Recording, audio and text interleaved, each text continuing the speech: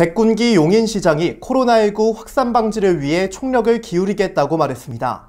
특히 집합금지 행정명령에 불응하는 유흥시설을 강력하게 제재하겠다고 밝히고 시민들에게 생활 속 거리 두기를 당부했습니다. 박승아 기자의 보도입니다.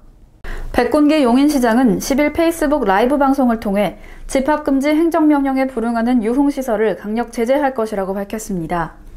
이는 지난 6일부터 전국적으로 이태원 클럽과 관련된 다수의 코로나19 확진 환자가 발생함에 따라 경기도가 5월 10일부터 24일까지 도내 모든 유흥주점과 감성주점, 콜라텍 등의 집합금지 행정명령을 발동한 데 따른 것입니다.